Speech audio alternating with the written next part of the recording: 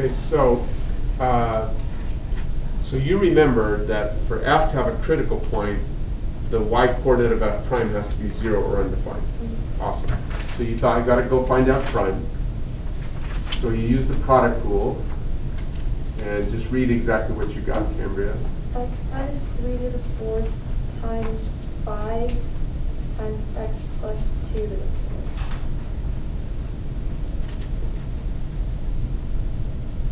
Plus x plus two to the fifth times four times x to the third, x minus three to the third.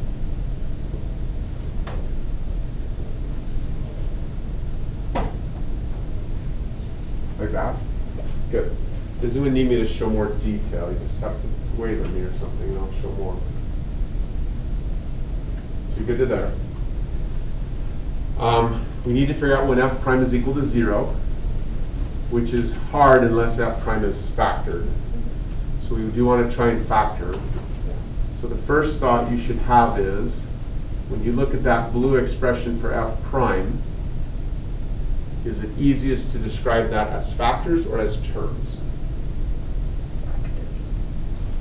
So describe, so when I say that, that means you've gotta tell me, how would you describe that as factors? Like x minus three times x minus three Keep going, times x minus three times five times x plus two times like four times keep going. plus. Stop right there. Oh, so that's a term and that's a term. There we go. Yeah. No worries. It's, you're, you're doing exactly what I would want you to do. Uh, you're like saying, you're thinking, okay, well, you know, I've got a factor, four factors here, factor here, five, you know, four more factors here. But as soon as you say plus, no longer factor. Is that okay? Yeah. It's perfect. So to me, it's easiest to describe f prime as simply two terms. That's how I want you to see f prime. So if f prime is two terms, that means there's a possibility we can factor each term Yeah. like we can factor something out of each term. So what factor can be taken from each term, Cambria? x minus three to the third and x plus two to the third to four. Could you also factor out a four? Is four a factor of the first term? Oh, no, mind. Good answer. So we can't pull out a four. Does that make sense? Perfect.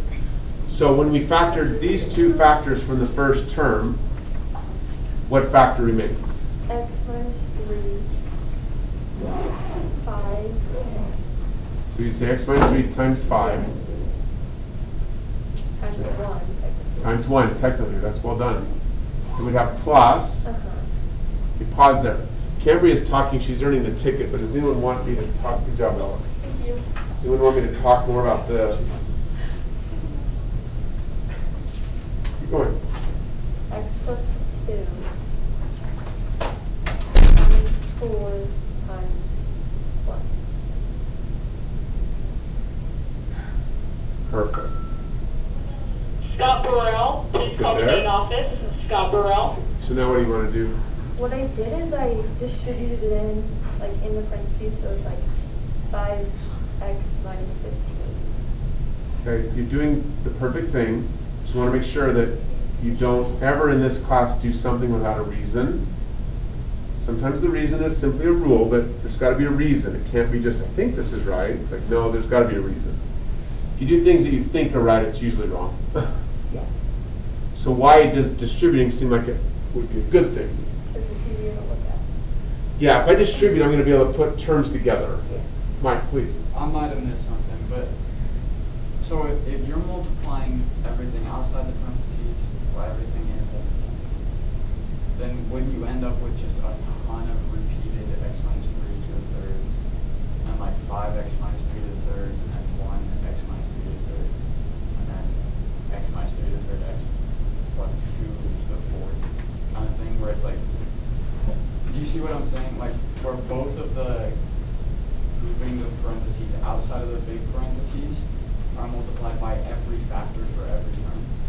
Oh, I think, okay, I'm not sure, but I think this is the mistake you're making. So I want to try something, if it doesn't help you, keep talking. Uh, if you had this, Brittany Ellsworth. Please call the main office, Brittany Ellsworth.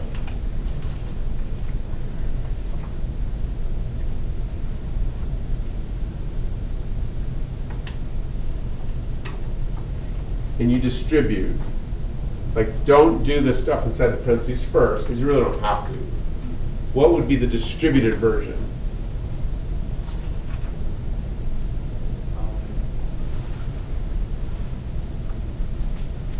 I don't. That's okay. Um, when we distribute, all we are doing is multiplying. So all we're doing is taking 2 times 3 times 4 times 5. So you don't do it multiple times. I'm not sure if that's what you meant, but I thought that's what you meant. So it'd be like two and three times four and two and three times five? No. It's just 2 times 3 times 4 times 5. Like you don't do repeated multiplication. It's just that.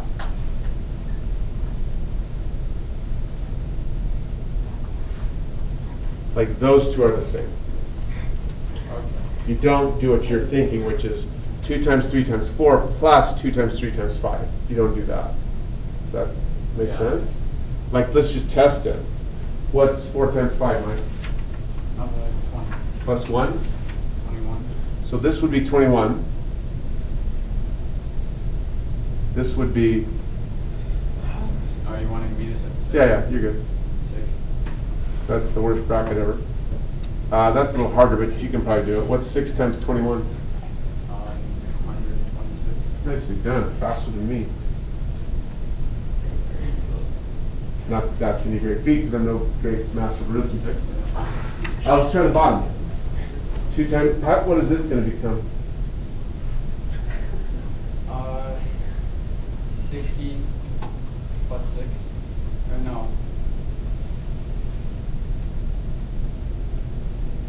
Oh, hundred twenty plus six, no, sixty. So those are the same. Okay, Did that answer your question? kinda, yeah. Somebody's still bothering you then? I don't, I don't know what exactly. it's the fact that like there's two, two parentheses numbers outside of the big parentheses. Um, it doesn't really matter because it's all multiplication. There's no addition, it's just multiplication. It's like, try this one.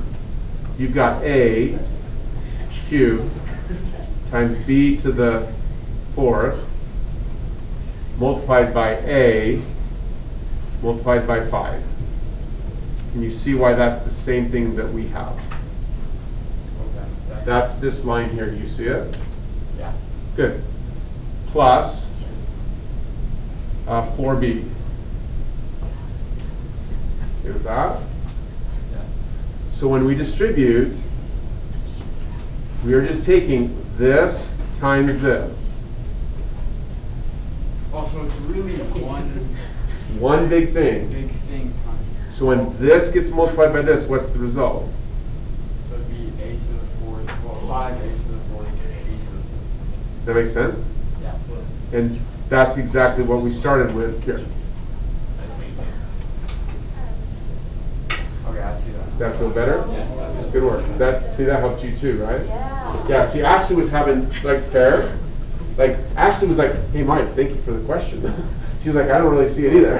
Fair, right? I like saw how he's doing it, but that's just like. Is that better? someone- Good, good, good. No, look, it's why I just keep telling you, you, you can't just watch me. You have to understand what I'm talking about. And if I were a better teacher, I would somehow be able to see inside Ashley's head and go, I know why she's confused and I could just help. That's facetious to say, I can never do that, right? Yeah. So my only way to help you is to try and do everything I can to make you comfortable with talking. Is that fair? Yeah, because then you can just talk about anything. Um, like, really think about this. Look, you want to learn something? Find somebody who knows it, and I'm not saying I'm an expert, but I know it pretty well. Find somebody who knows it pretty well, and then just be comfortable just talking with them. You can learn so much faster than like YouTube or a book or anything, because you just keep asking them. And if they're, and I hope I'm patient, I just keep going, oh no, just keep talking, we'll figure it out, you know. Like I tried this and he's like, well, kinda, let's try something else. So, Good? Yeah, that worked great, thank you. Perfect. Let me erase this.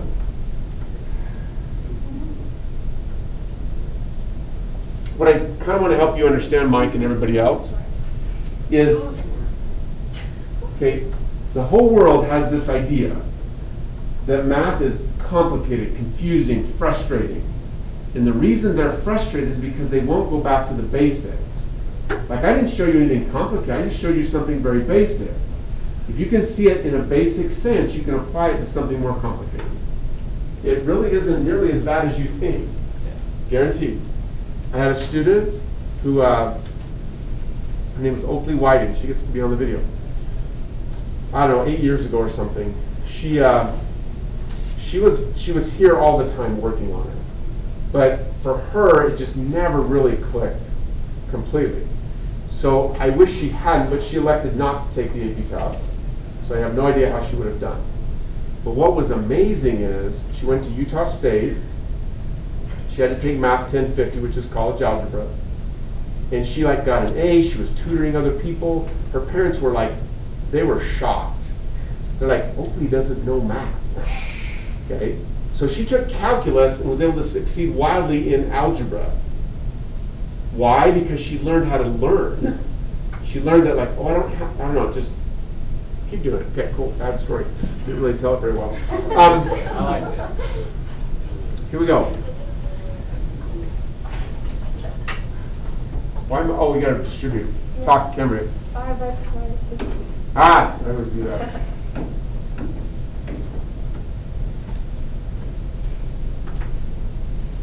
Keep going, Cambria. Plus x plus eight. Keep going, Cambria. Can I combine? So, so it's like nine x minus seven? All you have to ask yourself is this back to basics again. When you see all that, do you see terms or factors? Good. Terms can add in any order you'd like. That answer your question? Yes, see? It's simple. It really, if you just learn to see what's in front of you in a way that you maybe haven't seen before, it's like suddenly like, oh my gosh, why was this hard? Fair? Good. So what do we get? Uh, all that. Yeah, fair, I like that. I hate repeating it myself. So you're good. I'll just write it out. You're good now. And then this would be? Nine x minus seven.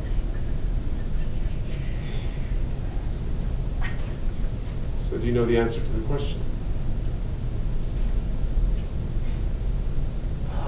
Three. And what are the critical points about? Um, then x equals three? Because if I were to put a three here, here, and here, which of the three factors would equal zero? The first, second, or third? First. First. But once the first equals zero, who cares about the others? Because they're multiplied. Yeah.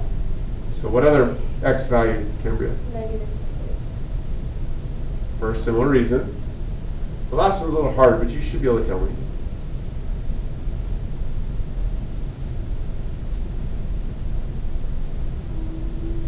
Pause. I have a huge hint for the whole room.